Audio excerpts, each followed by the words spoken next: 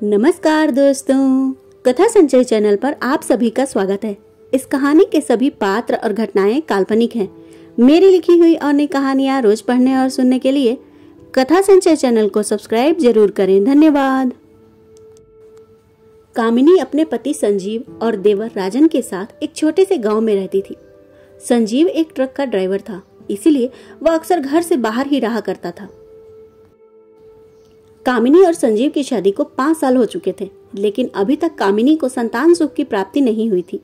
संजीव ने अपनी माँ की मृत्यु के समय उनसे वादा किया था कि वह राजन का अच्छे से ख्याल रखेगा और उसे पढ़ा लिखा कर एक सरकारी ऑफिसर बनाएगा। इसलिए संजीव दिन रात खूब मेहनत करता था ताकि राजन अच्छे से पढ़ लिख कर जीवन में एक सफल इंसान बन सके।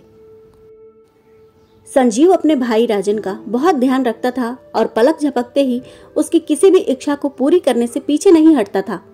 राजन भी अपने भैया के संघर्षों से परिचित था, इसीलिए वह कभी भी भैया को ज़्यादा परेशान नहीं करता था। और अब तो राजन खुद भी गाँव के छोटे बच्चों को ट्यूशन पढ़ाकर अपने छोटे मोटे खर्चे उठाने लगा था। संजीव के पिताजी ने एक बार अपने पिताजी का इलाज करवाने के लिए अपना घर और खेत गाँव के ही महाजन के पास गिरवी रखे हुए थे। उस समय उनकी आर्थिक स्थिति कभी इतनी अच्छी नहीं हुई कि वह अपना घर और खेत छुड़वा सके। अब संजीव धीरे धीरे रुपए चुकाता जा रहा था और जल्दी ही घर और ज़मीन वापस मिलने वाली थी। इसलिए संजीव आजकल बहुत खुश रहता था।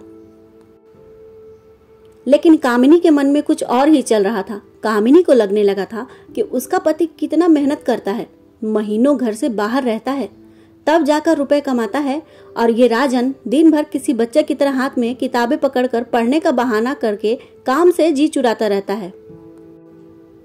सारे संघर्ष मेरे पति के हिस्से हैं और अब जब ज़मीन मिलेगी तो इसमें से राजन का भी तो हिस्सा निकलेगा। कामिनी यही सब सोचकर मन ही मन राजन से बहुत चिढ़ती रहती थी और उसे रास्ते से हटाने के लिए कुछ उपाय सोच रही थी। एक दिन कामिनी गली में खड़ी होकर चूड़ी बेचने वाले से चूड़ियाँ खरीद रही थी। उसका पति संजीव महीने भर के बाद घर आया था। और यही वो समय होता था जब कामिनी अपने साज श्रृंगार पर कुछ ज़्यादा ही ध्यान देती थी। ताकि पति को अपने पल्लू में बांधकर रख सके। तभी उसने देखा कि उसके निम्मो बुआ हाथ में एक पुराना सा बैग पकड़े हुए चली आ रही हैं। कामिनी को बचपन से ही अपनी बुआ जी से बहुत लगाव था। बुआ जी भी जरा उल्टे सोच की थी और किसी के परिवार में फूट डालने और साजिश करने में वो सबसे आगे थी। कामिनी उन्हें आदर सहित घर के भीतर ले गई। उनके जलपान की व्यवस्था करने के बाद उनसे बातें करने के लिए बैठ गई। बातों ही बातों में कामिनी ने अपना दुखड़ा उनके सामने रो दिया कि राजन को मुफ़्त में ही जायदाद में हिस्सा मिलने वाला है। अब बुआ जी तो ठहरी शातिर दिमाग। उन्होंने कुछ सोचते हुए कामिनी से कहा कि मेरे पास तो एक उपाय है, लेकिन क्या तू तो कर पाएगी? कामिनी की आँखें चमक उठी और कहने लगी, बुआ जी, आप कहो तो सही, मैं कुछ भी करने को तैयार हूँ। तब जाकर कामिनी की बुआ जी ने धीरे धीरे अपनी सारी योजना उससे कह डाली। कामिनी बड़ी प्रसन्न हुई और उसने छगन हलवाई के यहाँ से गर्मा गर्म समोसे और जलेबी मंगवाकर बुआ जी की खूब खातिरदारी की। बुआ जी तो दो दिनों के बाद चली गईं और कामिनी अपने योजना को सफल बनाने के लिए सही मौका ढूँढने लगी। पंद्रह दिनों के बाद संजीव फिर से काम पर जाने वाला था और कामिनी ने सोच लिया था कि इस बार वो अपनी योजना को सफल करके रहेगी। संजीव के जाते ही उसने उसी रात अपनी योजना अनुसार खाना जल्दी बना लिया था। गाँव में रात को सभी लोग जल्दी ही सो जाते हैं। पूरे गाँव में सन्नाटा पसरा हुआ था। कामिनी अपने कमरे में अपना श्रृंगार कर रही थी। वो खूब अच्छे से सच सवर कर आधी रात को दबे पाव राजन के कमरे में पहुँची। राजन गहरी नींद में था। कामिनी ने उसे जगाते हुए कहा, देवर जी, उठिए, मुझे आपसे कुछ ज़रूरी बात करनी है।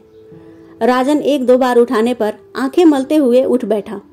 अपनी भाभी को इस समय कमरे में देखकर वो चौंक गया और कहने लगा, भाभी, इस समय आप यहाँ क्या कर रही हो?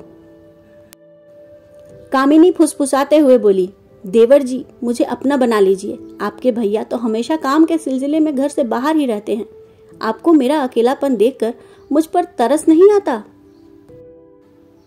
कामिनी आधी रात को सोलह श्रृंगार के साथ अपने सपनों को हकीकत में बदलने के लिए कदम बढ़ा चुकी थी। उसने सोचा था कि यदि राजन उसकी बात मान गया तो वो उसके खिलाफ सबूत इकट्ठे करके संजीव को छोटे भाई के खिलाफ भड़का देगी। कि राजन की उस पर शुरुआत से ही बुरी नज़र थी और अगर राजन ने उसकी बात नहीं मानी तो भी वो उस पर झूठा आरोप लगाकर उसे संजीव की नज़रों में गिरा तो ज़रूर देगी। भाभी की बात सुनकर राजन को बहुत गुस्सा आया। वो झटके से बिस्तर से उतरकर खड़ा हो गया और कहने लगा, भाभी, आप इसी वक्त कमरे से बाहर जाइए। मुझे आपकी कोई बात नहीं सुननी है। आपने सोच भी कैसे लिया कि मैं ऐसी गिरी हुई हरकत कर सकता हूँ? बस इसके आगे कामिनी को कुछ और करने की ज़रूरत नहीं थी। वह तुरंत ही चीखने चिल्लाने लगी और रोती हुई आँगन में आकर ज़ोर ज़ोर से चिल्लाते हुए कहने लगी, अरे लोगों, कोई मुझे बचाओ। ये देखो, मेरा नालायक देवर मेरे साथ क्या हरकत कर रहा था?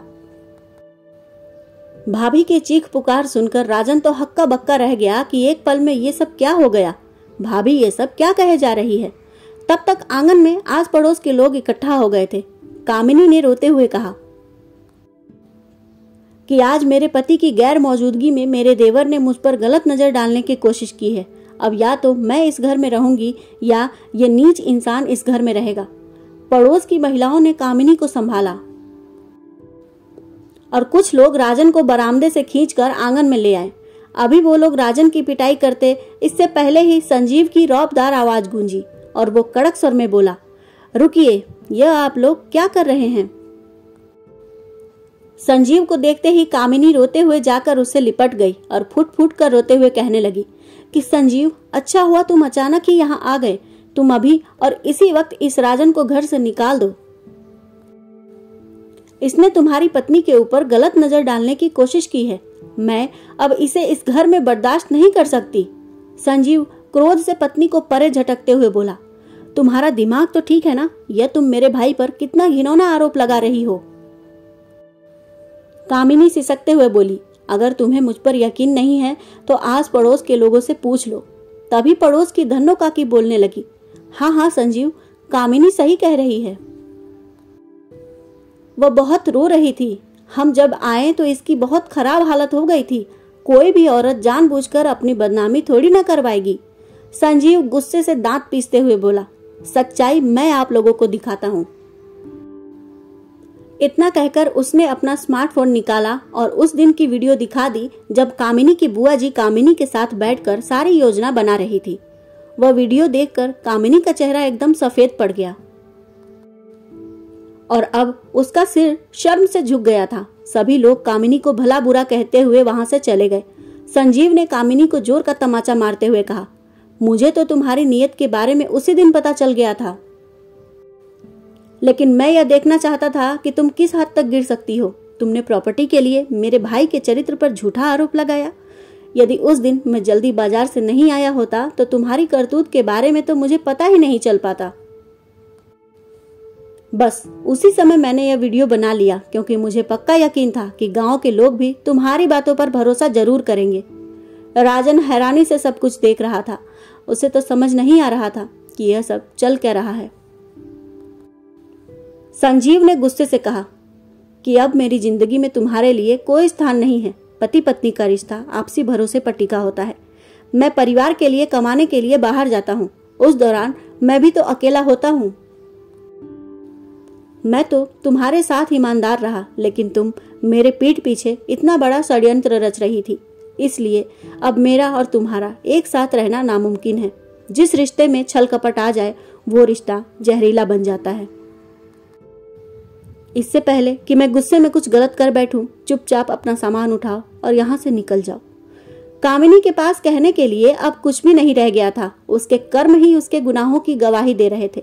इसलिए उसने भी चुपचाप अपना सामान पैक किया और अगली सुबह वहाँ से निकल गई। उसकी घटिया सोच और लालच ने उसकी हंसती खेलती गृहस्थी को बर्बाद करके रख दिया था। दोस्तों संपत्ति का लालच वो जहर होता है। जो रिश्तों की गरिमा को भी समाप्त करने से पीछे नहीं हटता है। और ज़मीन जायदाद के चक्कर में अच्छे से अच्छा रिश्ता भी जहरीला बन जाता है। इसलिए कभी भी रिश्तों को संपत्ति से नहीं तोलना चाहिए, क्योंकि धन संपत्ति तो आती जाती रहती है, लेकिन रिश्ते अनमोल होते हैं। तो दोस्तों, आपको यह कहानी कैसी लगी? कमेंट करके ज़रूर बताएँ। धन्यवाद।